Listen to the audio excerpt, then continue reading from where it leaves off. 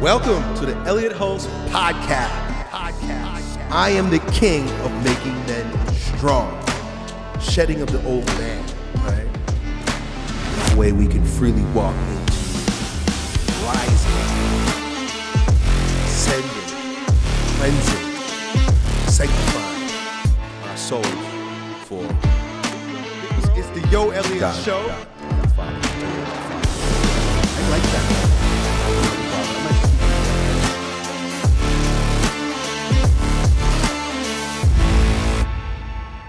You're a high achieving businessman, executive, or entrepreneur who's dominating in business but struggle with drinking, drugs, overeating, or any filthy vice, here's some advice. The biggest mistake that you could make is to try to quit cold turkey and use willpower to overcome your cravings. If you've ever quit for a few days or a few weeks only to self sabotage by binging worse than before, then you know exactly what I'm talking about. Not only has my company helped thousands of men destroy vice and dominate life, I personally confronted and overcome the same struggles when I found myself hooked on weed at the peak of my business career. If you've got four minutes to listen to a coach who will help you achieve total self mastery and control over your inner punk, then listen up. If you don't beat drinking, drugs, or any life draining dependency in 90 days or less, not only will my company give you your money back, we'll pay for your first month's stay at a rehab retreat of your choice. That's what you need to succeed. So let's go, bro. Just visit waronvice.com, fill out an application, and my team will get back to you with the details. Hope to see you on the inside. Done. So welcome back to the Elliott Hulse podcast. And today we're going to talk about our collective war on vice. Let me give some context to where that term even comes from. Uh, it's interesting how God sort of sets me up sometimes for where He wants me to go. And so with this show, there's a lot of setup. But one that some of you might be familiar with is how earlier this year I was smeared, slandered, I guess you could say, by Vice Media News. And so it was, in my opinion, silly, but it was definitely harsh. They used my picture in a headline uh, on social media that read, inciting viol- mass murders against women. They used my face as a part of it. And so a lot of my friends and uh, fans reached out to me like, Elliott, look at what they're trying to say about you. Look what they're doing to you. I laughed it off because I thought it was just silly and it had nothing to do with any reality. But it sparked something in me, which brings us to where we are today with the conversation that we're going to have about the collective war on vice, our war on vice, my war on vice, but all of our wars on vice. We live in a world that praises vice, that holds vice up to be a virtue. And if you've ever struggled with a vice, and I'm talking specifically to successful men because you know what it takes to succeed in one area of your life, but if you've got a vice that just seems to have its claws dug into you and you just can't get rid of, it has a lot to do with the culture of death that we're living in that allows companies like Vice Media to get a voice. Well, anyway, I just thought it was an interesting, uh, how you say, analogy, or um, it pointed to a greater reality, which is not necessarily a war against the media company itself, but really awoke me to the idea, to the challenge that we're having in our society, particularly with men who are completely subdued in our masculine magnetism and power and ability to create change because we're sucking down suds, playing video games, rubbing our nuts on uh, porn, and essentially being dumbed down and living degenerate lives much smaller than we're called to. So, like I opened the show with the call to action to any man who has made great strides in the world, but there's that one thing holding you back. And you know, or maybe you don't know, maybe you need to hear it in this show because we're going to talk about what some people do in terms of denial. Uh, that if you could just let go, your life would rise. So, we're going to talk a little bit about my battle, my personal struggle in war with Vice, not Vice Media, but with a filthy Vice I picked up about the age of 35, uh, as well as what most men don't realize about how we got into these uh, this place where vice destroys our life. And what most men do. I'm going to talk about the solution, and I'm going to offer my personal solution.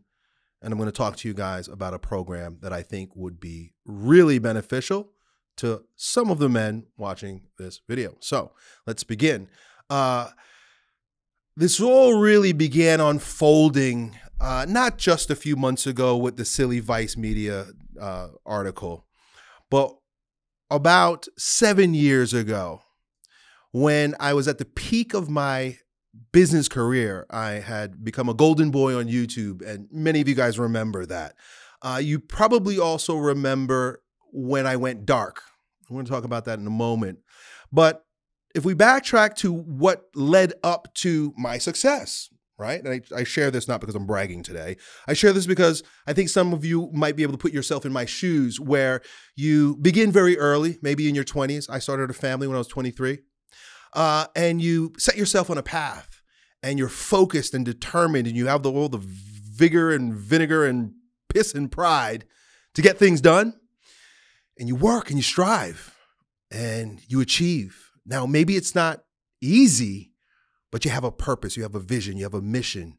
And with your stubbornness, perhaps, your willingness to sacrifice the uh, focus or uh, consolidation of your will into one area, you start to make some headway and you make your way in the world. Now, if you're a bit younger and you're listening to me right now and you, you can't relate, just understand if you keep putting one foot in front of the other, you're going to get there. You're going to reach the peak. There's something, there's something, there's something a little evil about peaking because when you get to the top, if you're not in the right mindset, well, there's nowhere else to go but down. I've been thinking lately how nothing fails like success, especially if you're not prepared for what's coming. And to be completely frank, I was not prepared for the type of attention, the type of uh, fame that I uh, achieved in a very short period of time with YouTube. I had it wasn't no. I started YouTube back in 2007 before being a YouTuber or an influencer was even a thing. So it wasn't like, you know, many of the young people watching today will say, well, you know, I've always wanted to be a YouTuber. Well, I never knew what YouTube was. So it kind of creeped up on me. It snuck up on me. I didn't realize what would happen. And so I was unprepared emotionally, mentally.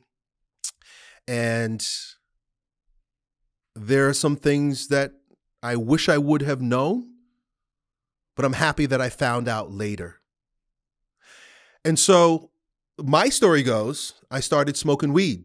I got to uh, the peak of my business career, and uh, I, I, I have to say that in some way, my ego must have gotten the best of me, and I thought that I could, I thought I deserved something.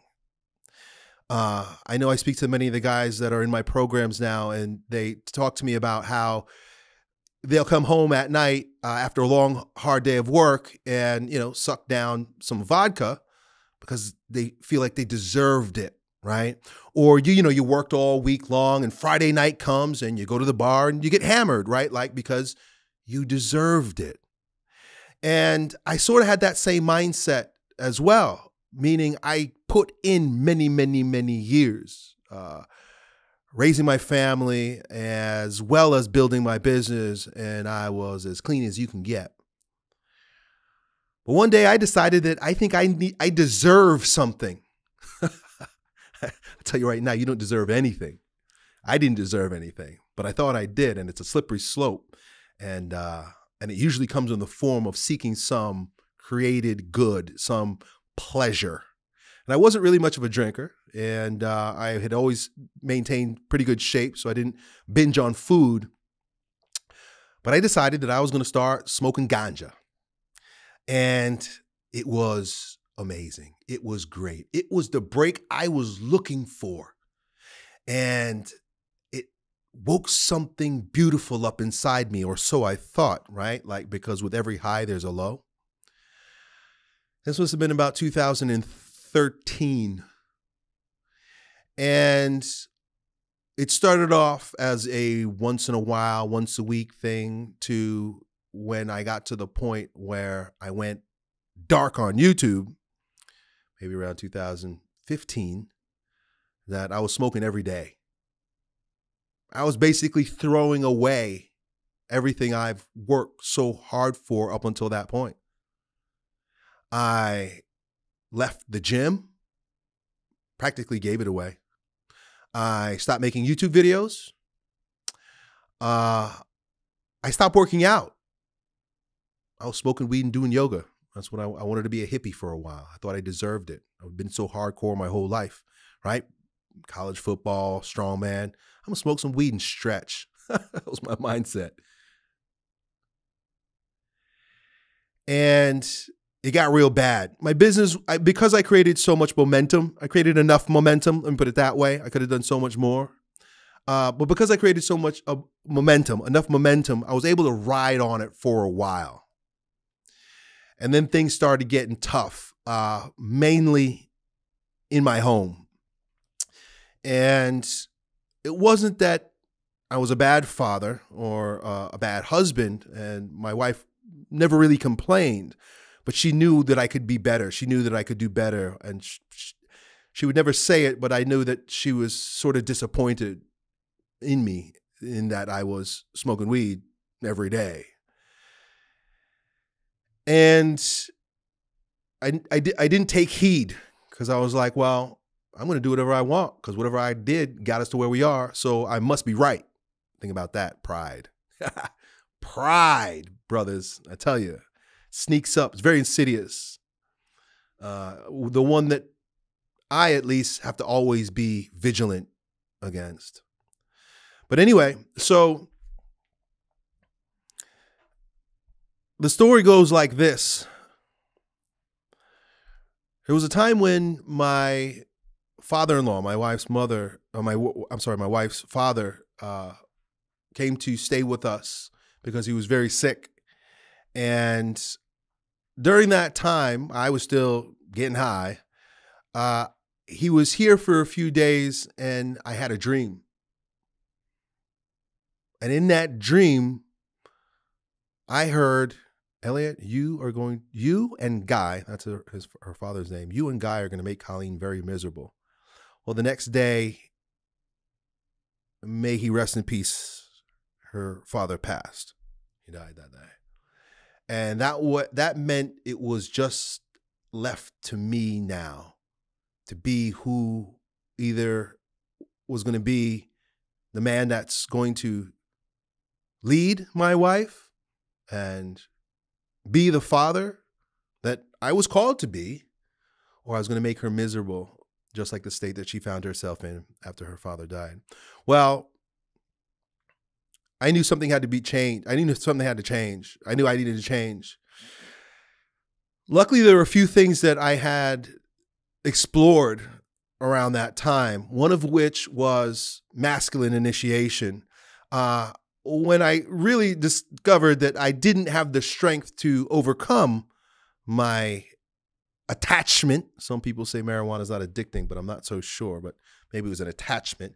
When I couldn't overcome my attachment, I started seeking and I saw it in many different areas.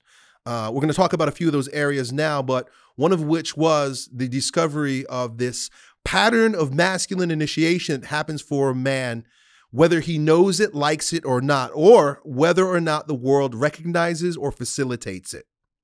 You could say that I was sort of in an early midlife crisis. That's the term that they use in our culture because they don't understand the prize that's on the other side of a quote unquote crisis. But essentially, I was going through a phase of death and rebirth.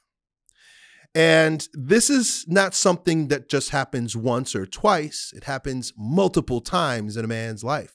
It may happen on a predictable pattern, like a clock, certain age, but it also can be kicked into gear early or in the middle of a phase. It could happen at any time. And for me, it was both chronological, it was the right time, it was a time in my life, but it was also kicked off by my pride. And I listened to a, uh, I listened to a, a, I think it was a monk or, or a guy in a monastery on YouTube today. And he says that anytime there's a he says something to the effect of anytime there's, there's a vice or there's a hang up or there's an addiction that you can't get rid of, just know that Christ allows that into your life. And it may be because he knows that there is a worse vice hiding behind the obvious vice that needs to be recognized. And he said that usually it's pride.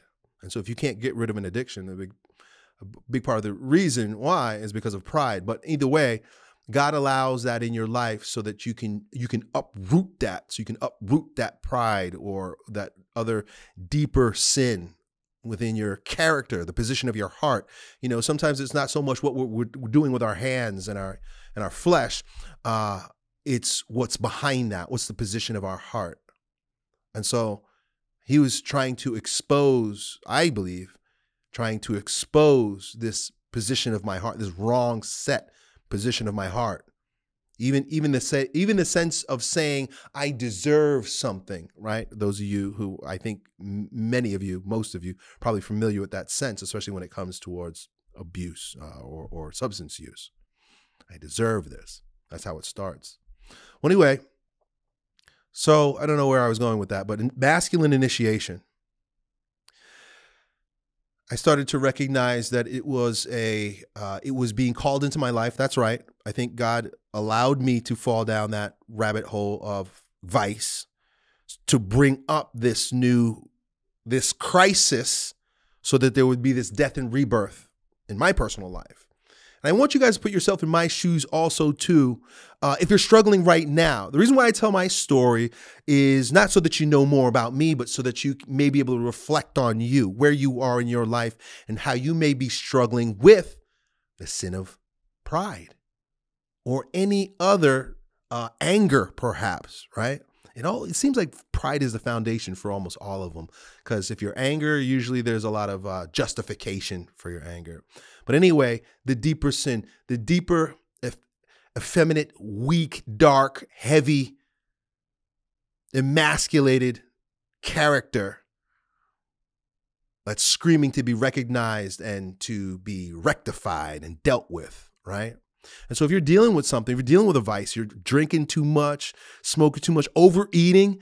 This, we live in a world that's so funny that like if you're an alcoholic and you're trying to quit drinking, they will tell you, don't have another sip of, of, of liquor or whiskey or whatever, right? Don't drink it because it's a slippery slope. But yet we almost overlook eating addiction as a legitimate thing. If you're fat, you know what they tell you? Eat less. You don't tell an alcoholic drink less. You don't tell him, oh, just have drinks on Friday.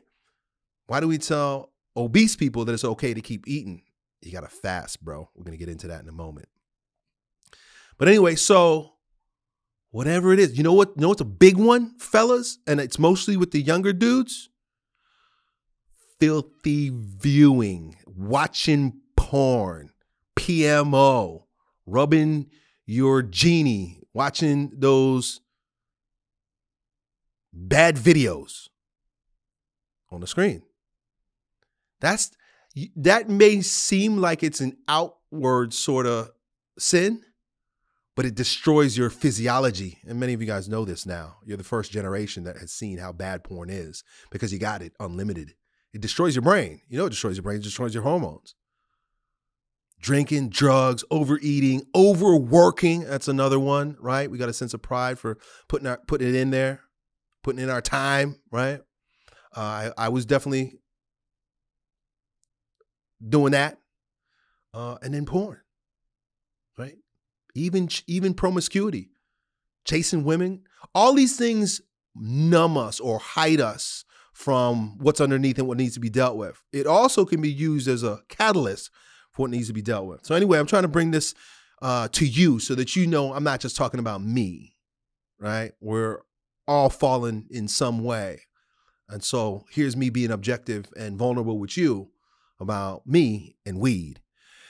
And so I was I was lucky enough to discover the the the archetype of initiation. And so we're going to talk a little bit about that today. Uh, but first, let's talk about what most men do. you might find yourself in a number of different places, right? Like, so if you're familiar with what I'm talking about, you might shrug it off and excuse your sin. You might shrug it off and say, hey, it's no big deal. What's a big deal, right? Or you can't even see it as a problem. The biggest problem is when you don't see it's a problem because then it can eat away at you from the underworld. It can work on you from the shadows. That's why a religion like Christianity requires that you recognize and repent for your sins. Because if you're okay and I'm okay, then there's no need for change. So if I'm talking to you right now and you are still convinced that you got control over something that you have been binging on for the past few years, well, then I, I, I invite you to listen. Because maybe you don't have as much control as you think you do. At least I didn't, because I'm a willful guy. I'm a strong man. What does a strong man do? A strong man can lift anything, can break anything, can do anything. But I couldn't. Maybe you're stronger than me. If you are, then put it down. So a lot of guys will not see it as a problem, pretend it's not a problem, or excuse the sin. So Father Ripperger says sin uh, sin darkens the intellect. What that means is you start justifying your sins. You start justifying your vice. It darkens the intellect, meaning now you have to do mental gymnastics in order to keep doing the thing that some somewhere deep down inside you you know is not right. So if that kind of guy, listen closely. We also have those who procrastinate, guys who drag their feet. Guys who keep saying, okay, next week, okay, next month, okay, next year, okay, eventually. Oh, after I get this, I'll do it. After I achieve that, I'll do it. And you just keep kicking the can down the road. I listened to a book, a, a small little audio book. I forget the name of it. It's something like how how Satan sneaks up sneaks up on you, like the the sneaky tricks of Satan, something like that. and it's a it's a cute little story, right? I say cute, but it's like about it's about all the demons in hell having a conversation with the top dog, and the top the top demon, right? Let's call him Satan. Uh, he's trying to figure out which one of his demons are the worst. Like like in other words, like the most powerful. And he go in the whole story. He goes through a bunch of them. The one that he finally crowns the best demon is the one who is very subtle. And he says, I don't make anybody do anything. All I do is tell them they can wait till tomorrow. That's all he did. And he used it, he was a, he was the strongest demon in hell in this little story. He so they had demons that were like that would like convince people to do things that were all really like ba- overtly bad. The worst demon in hell is the one that says, "Wait till tomorrow. You can do it tomorrow." Right? And then you kick that can, you kick that can, you kick that can till tomorrow was 6 years ago. and your life sucks and you don't know why. Procrastinators. And then we also have those who maybe maybe more of you guys can relate to it and it's a very frustrating place to be, but are those that try and fail. I tried that and it didn't work. I trusted this and it failed. I went here, I did this, I gave this up for a time, but damn, it came back. It seems like no matter how much willpower you use, how much resolve you make, how many resolutions you take, that damn thing just keeps coming back. And it's almost like you don't have it. It's almost like there's a, a second mind inside you that takes over. At least I know this was the case for me. I'd speak out of two uh, sides of my mouth. One side of my mouth is like I want to. I'm going to be virtuous. I'm going to be clean. I'm going to be righteous. I'm going to. I want to be holy. I want to be the strongest version of myself. I know I must, I have to, because if I'm going to be a leader of men, which I've been called to, whether I like it or not, I can't lead them off the cliff. I got to get right. And the other side that says, What's the big deal? You can have a little bit more. You deserve it. Remember that one? right? What's one more shot? What's one more chance? What's doing it a little bit? It's legal. Everybody else is doing it. It's not that bad, right? And so it's literally like those two, like an angel and a demon on the shoulders, like they showed in the cartoon when you was a kid, right? Literally. So that's where you're in this conflict, inner conflict, conflicted with self. Man, what a terrible place to be. How do we get there that we have not the strength to overcome and not the vision or the purpose or mission that's worth reaching for?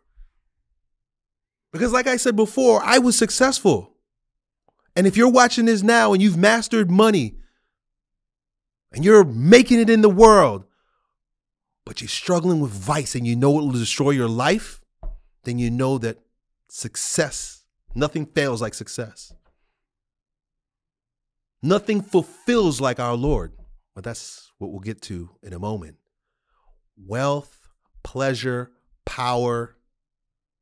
Wealth, pleasure, power, and honor. Those are the four false gods. You know, they say there's a whole lot of misconception with regard to religion, right? And so there are those who believe that they don't believe in God. They say they don't believe in God. But if you're chasing wealth, if you're chasing pleasure, if you're chasing power, if you're chasing honor, those that's your God. That becomes your God.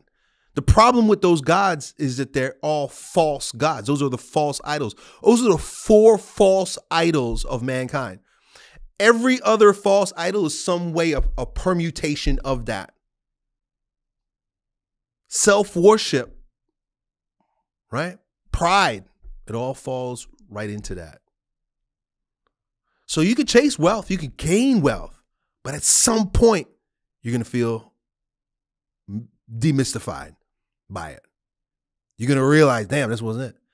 Honor. Nobody had more honor than me. I was a golden boy on YouTube when YouTube first came out. Millions of people know me, saw me, venerate me. I speak to young men, I meet them quite often these days. And, oh, Elliott, you changed my life.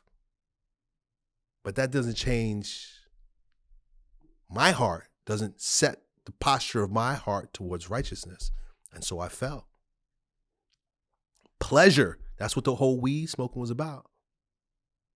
Power, right? Wealth is power. I had a there was a moment when I almost caught myself in a power trip. I look I I remember watching Scarface, the movie Scarface. and I was like, damn, I'm starting to act like that guy. Tony Montana. Right? Power tripping. Power tripping. Think about that guy too. He came from nothing Watch the movie Scarface. It's fun to watch. But that guy was tragic. What a tragic story. He was a criminal anyway, ruthless, but you see how power corrupts. So there I am, there I was. That's where you might be right now. And what do you do? So let's talk about how we got into this place with regard to our society and the the state of masculinity today. I'm talking specifically towards men, and I'm talking very practically now in a moment because uh, I don't want to get too high up in the clouds. I want to talk about what's practical, what's biological, what's anthropological, what is rooted in our DNA. And then we'll ascend and we'll talk spirit. But if we don't confront what's in front of us, which is the darkness of sin, which is just embedded in our DNA. You know, they say that we are in a fallen state. If you think scientifically, really, we're super based. Like, in terms of material, we've fallen into the third dimension, right? We're living in a fallen state. And in that fallen state, there are rules like gravity, right? There's there's rules like you eat and then you poop. There's laws that's associated with this third dimension, this fallen state that we find ourselves in. There's beauty, God's imprint on it, but there are laws and things that need to be done, whether you believe or not. Right? Whether you believe in God or not, you still got to eat, right? Whether you believe in gravity or not, if you jump out of a building, you're going to fall, right? And so one of the things that's evident in our world is it's beautiful because we live in a in a world that we can interpret, right? That's why we have science. we can recognize patterns, right? Cyclical patterns. And so initiation is something that is a pattern that, well, anthropologists study and recognize is evident in all societies, has been evident, is happening either in a resourceful way or an unresourceful way in every society, even our own. And the pattern looks like this. The traditional, the pattern of traditional masculinity, I've talked about, I've talked about this in the show many times before. But in a word, it's a movement away from the world of the mother, atonement with the world of the father. A movement away from effeminacy, a movement away from pleasure, a movement away from vice, a movement away from matter, the matrix, all things sensually gratifying that we become very attached to because that's what we come from, our mother. And we believe, we start to believe that it's who we are. Even when you're a baby, they say that there's a love object relation where the baby thinks that it is its mother. But then there's a love object relation loss when the baby realizes, oh, my mother's that and this is me. That's how that's how deeply ingrained we are with the material world. And for us as human beings coming from our mother. For that boy to become a man, there must be a clean break from the mother because he's of a different order of being and called to a different place in life.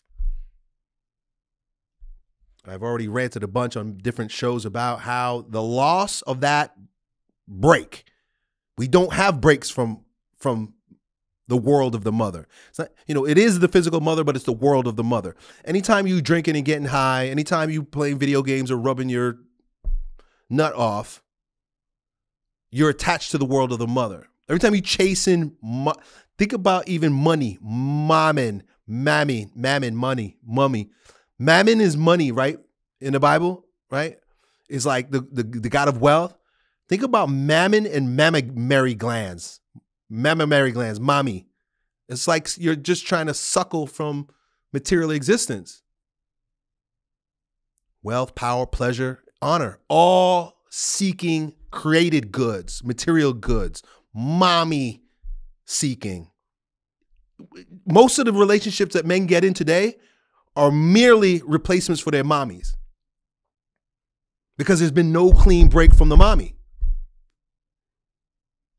But not only that, fellas, so that might sound great. So what do you do, Elliott? You create some austerity. You create that break. This is what our ancestors would do. They would take a boy and they would take him up to the mountain and they would break him down, literally break him down, fast him for days. And not like our, you know, intermittent fasting with mineral juice. Ha! No. They'll dry fast them out in the sun for days, turn them into a raisin, and then start exacting punishment, challenges. Because you got to break that baby boy ego. How many of you have never had any real challenge in your life? Only perceived challenges. Oh, somebody hurt my feelings. And I'm not making fun of you. We just don't live in a world that subjects men to that kind of challenge, those kinds of hardships, that kind of suffering. You must die. I've said this in one of my videos, a very popular video of mine, where I talk about suicide rate with men. Suicide is real. The sense that you want to die is real. The only problem is it's not that your physical body needs to die, your ego needs to die. Who you think you are, your attached self, your baby boy, mama, milk seeking self, sucking on a bottle and chasing puss, that guy needs to die. But you get to rise. So there's that. There's the movement away from the mother. And and and mind you, there's a there's a lot that needs to be done there. And there's a lot of people doing great work in that realm today.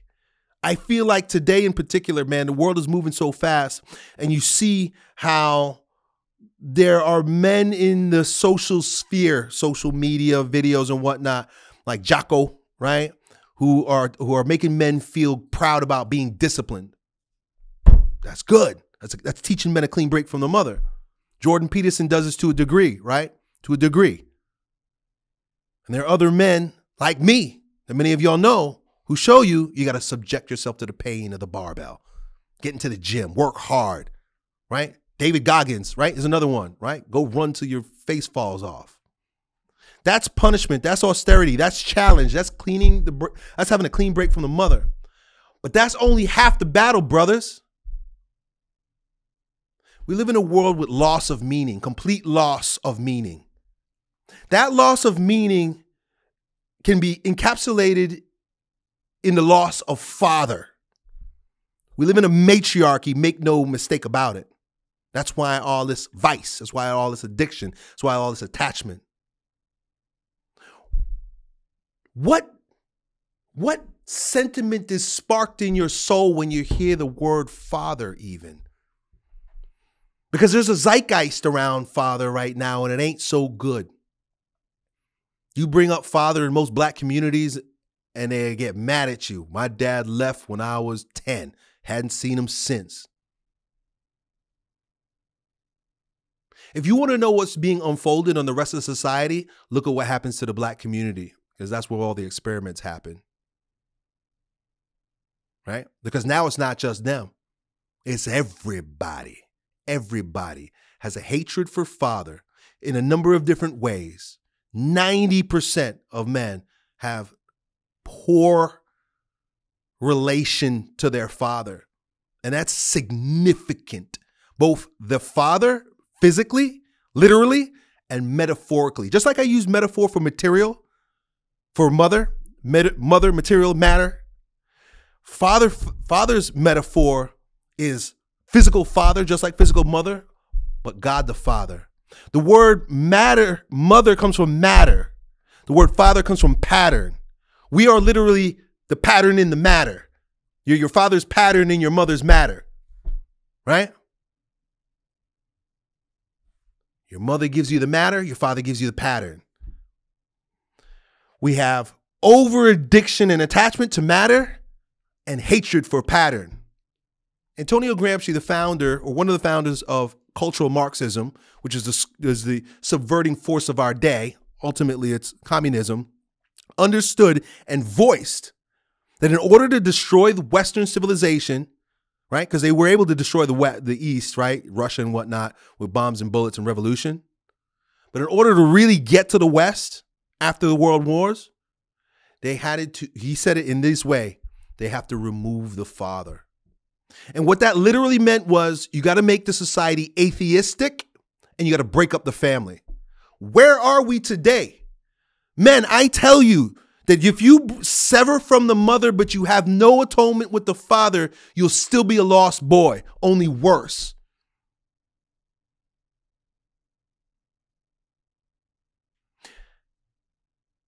Exploring the world of the father that gives you meaning, that gives you purpose, it gives you vision, it gives you mission, it gives you dignity. It's about generativity, which the word generations come from. It's about legacy.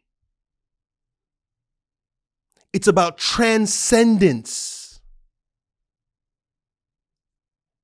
All these things to say that it's about spirit. Because when the ancestors took the boy out of his home and took him up to the mountain and whooped his butt and broke him down, they only did it because they needed to do one thing with that clean slate. They clean the slate, clean the slate, break the ego. Right? Which is good. I know a lot of you guys crave that. We're gonna keep we're gonna talk more about that in a moment, but I gotta give you the big picture. That's when religion was introduced. Myth, story was introduced. We don't have a collective story. We don't have a collective myth, or except for whatever Disney gives us, mind you. It's all based on commercial, right? It's all uh, fascist, right? We literally are uh, war, we worship media, right? Screens and uh, pop culture, right? This is this is this is the Lord of our day, right? And so we lack even even if there is an atonement, it's with it's with a false father. It's a false faith. It's those four things I talked about before, right? Wealth, power, pleasure, and honor. Think about I don't like to use his name too much because I don't want to give him props, but think about Andrew Tate. Is he taking you to the Father? Or is he taking you to wealth, power, pleasure, and honor? What happened prior to the destruction of Christendom in the West, which was the point of cultural Marxism? Men oriented themselves, oriented their lives towards vocation. And the primary vocation for most men was family.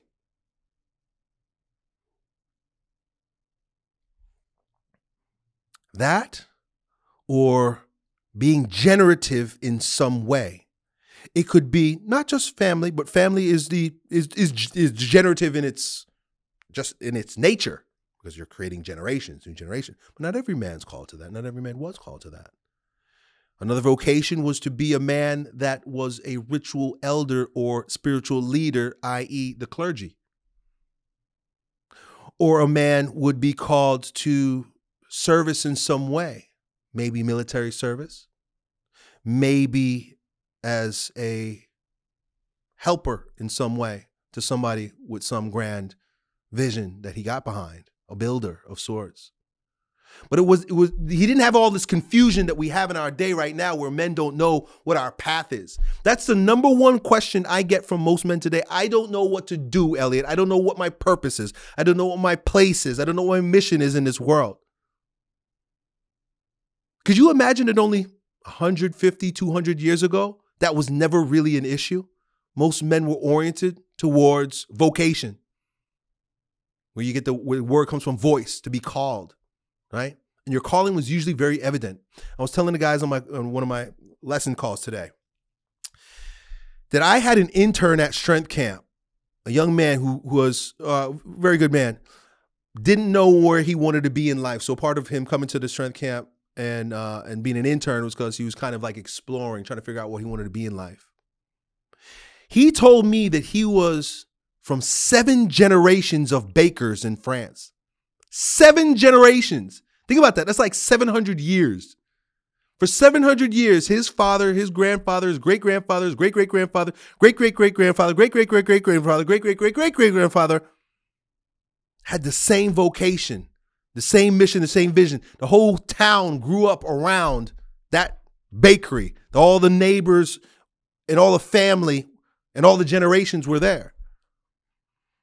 I'm sure not one of those men through all those generations ever had to ask themselves, what is my purpose in life? He got older because he was and he was learning how to bake the bread. He made he made the bread, he made a family, and he went to church on Sunday. That was his life.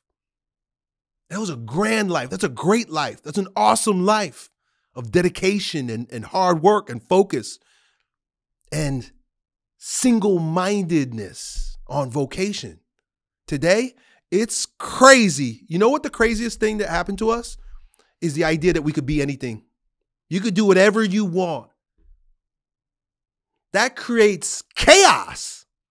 And that's why so many men are lost. When you tell people you could do whatever you want, you know what they do? They start looking at other people and what they're doing because we, as men, we need an example.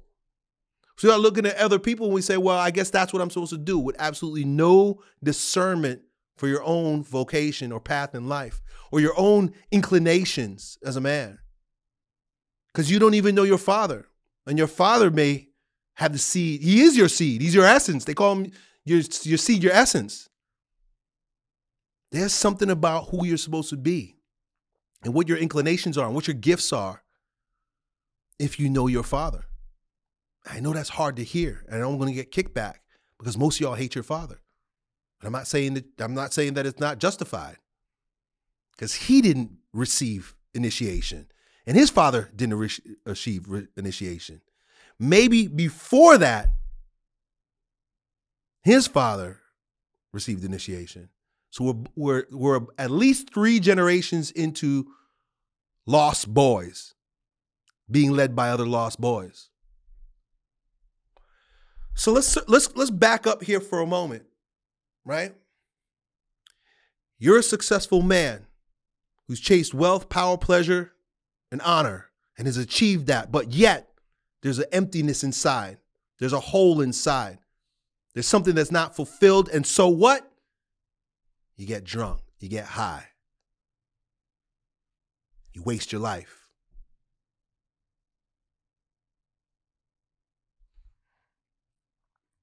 I implore you that if you just break this away by itself and don't fill it with pattern, with meaning, with transcendent meaning, not just corporal works of mercy, but divine works of mercy, prayer, and ascension, dedication, and devotion to the Lord, you're going to fall short.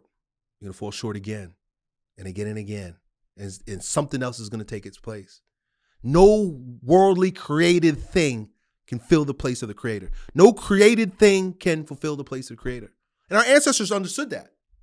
We're living in a time where the atheism is a brain cramp because how how arrogant could we possibly be to think that from all time and place on earth people worshiped some god but you so smart that you don't need one. That's why we're killing ourselves.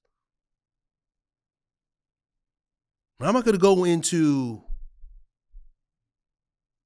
what I know to be God, God of the Bible, and the amazing relationship that I have with my Father, God the Father, through atonement with my earthly Father. Because the world has made us believe that that's very subjective. Anything's okay, anything goes. Well, you see where we are right now. When a society doesn't have a collective value, when we don't have collective virtue, when we don't have a collective story that transcends wealth, power, pleasure, and honor, we find ourselves in the place that we are right now. And so many people feel lonely. That's a part of the reason why we end up plugging it up with dark vice. So, what do we do? Where do we go? Who do we seek out? Who do we collaborate with?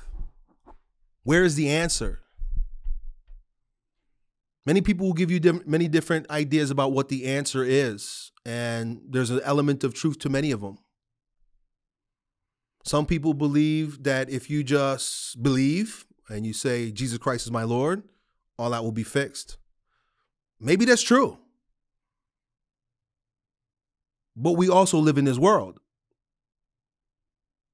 There's some people believe that if you just say, or if you just achieve, or you just receive more goods in this world, you'll be okay.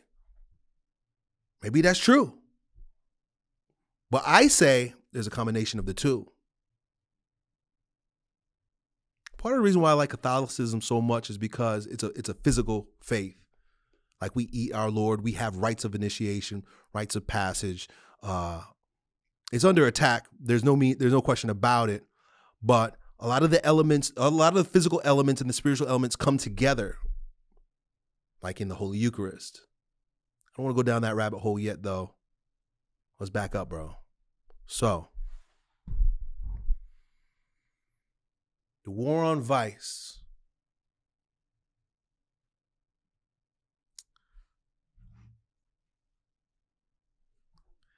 Is about initiation. It's about breaking away from vice and it's about atoning with the Father. It's about moving from vice to virtue, vice to virtue. And in this pattern of traditional masculine initiation, there are four parts. There are four elements, four pillars that have to be present sacred space, ritual elder, communitas, and ritual process. I'm going to talk to you for a moment about a project that I put forth, and I've been working with hundreds of men at this point in carrying them through this process of masculine initiation using these pillars. And if what I'm describing sounds like something that you might benefit from, I invite you to go to my website, waronvice.com. I'm not looking for every man, but I'm looking for a man that understands that what I'm saying is true. A man who has already perhaps experienced a sort of breakthrough. I've achieved somewhat somehow in my life, but still something subsides. Still, I get caught up in vice. And if you understand that this process of breaking away from vice, but then building virtue, atoning with the Father, ascending as a man might be for you, then listen closely. Sacred space is about a pattern interrupt and creating boundaries around yourself for growth. In order for a man to grow, it's almost like it needs to be in the in a hot container like an oven.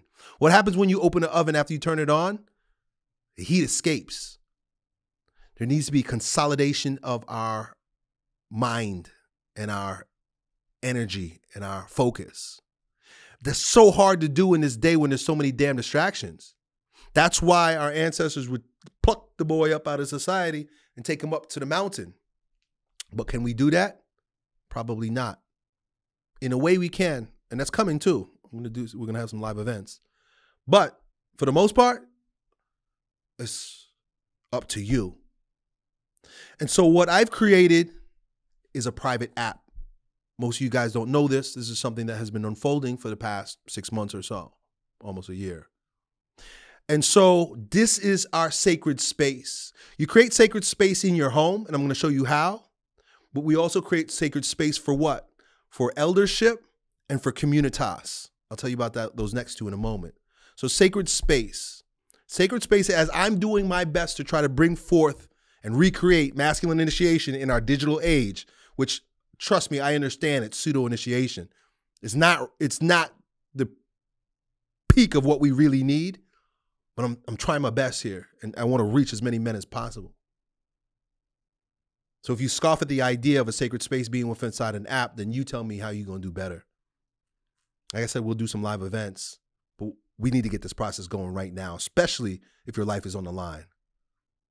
So there's no distractions inside my app. It's not a Facebook group or Telegram group where you're getting pings and notifications from other silly things. But what's the big deal? An app is an app. What's happening inside is what's important. Next step is ritual eldership. I've been called to this place. I've been put through the ringer so that I could stand in this place and so that I could stand in for you. I got a lot of work to do. I'm still on my way. But there's a lot that I've experienced, there's a lot that I know, there's a lot that I've learned, and there's a lot of men that I've saved. I'm not a savior, but I can point to the savior. I can point to the way. I can lead by example, and that's what I've done to this day. And I don't even know how I got here, but by the grace of God.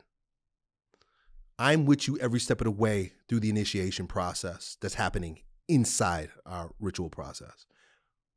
I'm there with the men uh, multiple times a week. We have multiple Zoom meetings a week. We have awards assembly monthly.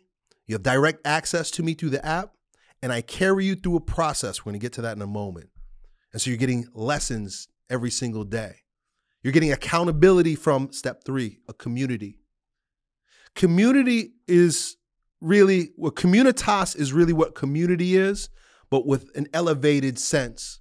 Because when you're working towards a common goal or struggling in the same way as other men, there's a bond that is born. And so part of the community aspect is that we have regular get togethers, regular meetups, regular online meetups, and physical meetups. We're having something happening here in February coming up pretty soon. If you want to join us, you can. I'd love to have you. Protectwithelliot.com. Use HULSE 10 as a, as a code so I know that you're with my crew. H U L S E 10. Protect with Elliott. And you're going to meet many of the men in my program. Men who are battling in the war on vice. Communitas takes place when you know that if you fall back, you fall down, you don't fulfill, that another bro has your back. He's gonna call you out when you slip. If you need a shoulder to lean on or somebody to speak to, somebody who knows because they've been through that just like you, they're there for you. I also have an assistant and I have experts, assistant experts to help you grow in virtue. I'm going to talk about that in a moment. Ritual process. Here's the ritual process it's 90 days broken up into three phases. Phase one is initiation, it's pure austerity and challenge and pain. And you're going to suffer. Because if you don't suffer, you don't grow. I'll be straight up with you right now. There's a lot of fasting involved for 21 days. A lot of fasting, a lot of dopamine detoxing, a lot of breaking away from things that you never thought that you could. And you don't have to use willpower because you got me and you got your community and you have your set away space to help you do it. There are a lot of challenging exercises. I won't get into all of them. But a lot of things that you're called to do on a daily basis for what? To break down the baby boy ego, to free yourself from the attachment to vice. This is our war on vice, phase one. Phase two is transformation. And this is where we begin to work on elevating that atonement with God, the Father, this spiritual combat, gearing up for the long battle, for final perseverance, for phase three, which is for life. Stage two includes working on building yourself up in all the areas that are most important for you and your vocation as a man. We have a campus on family. We got a fam- campus on faith. We got a f- campus on fitness. And we got a f- campus on business, work, career. And so, as you break away from vice, you get to be built up in these areas virtuously so that you can continue on in life and not only be a generative man for the people around you, but for generations to come. And so when you join my program, you're in for life. That's my gift to you. You don't just join and 30 days you get something, 90 days you get something. No, you're joining my militia for life. I call it the monastic militia because we're living disciplined lives in this degenerate world. There's a monastic movement happening on the planet right now, but most men only have it halfway. It's not just about the disciplines of breaking free from addiction and effeminacy, it's about atonement with the Father, atonement with your Father and God the Father, meaning and purpose and pattern and mission and vision and generativity for life. So that sounds like something that might benefit you. If my story about rising and falling and the failure of success and not being able to break free, but knowing that there's more for you, there's more for me, and you want to explore, go to waronvice.com. Fill out the application, and maybe I'll speak to you one on one, mano y mano, old Uncle E and you to see if we're a good fit. And so I hope you guys enjoyed this show today. I hope you received some benefit from our conversation. I also hope to see you face to face on a call when you fill out that form on War on Vice because my work is not complete without you. And we're in this together. We're doing it, we're growing. Why? For generativity and the generations to come. You got to be strong for you, but also for your sons. That's it. That's all. I'm done. If you're a high achieving businessman, executive, or entrepreneur who's dominating in business but struggle with drinking, drugs, overeating, or any filthy vice, here's some advice. The biggest mistake that you could make is to try to quit cold turkey and use willpower to overcome your cravings. If you've ever quit for a few days or a few weeks only to self sabotage by binging worse than before, then you know exactly what I'm talking about. Not only has my company helped thousands of men destroy vice and dominate life, I've personally confronted and overcome the same struggles when I found myself hooked on weed at the peak of my business career. If you've got four minutes to listen to a coach who will help you achieve total self mastery and control over your inner punk, then listen up. If you don't beat drinking, drugs, or any life draining dependency in 90 days or less, not only will my company give you your money back, we'll pay for your first month's stay at a rehab retreat of your choice. That's what you need to succeed. So let's go, bro. Just visit waronvice.com, fill out an application, and my team will get back to you with the details. Hope to see you on the inside. Done.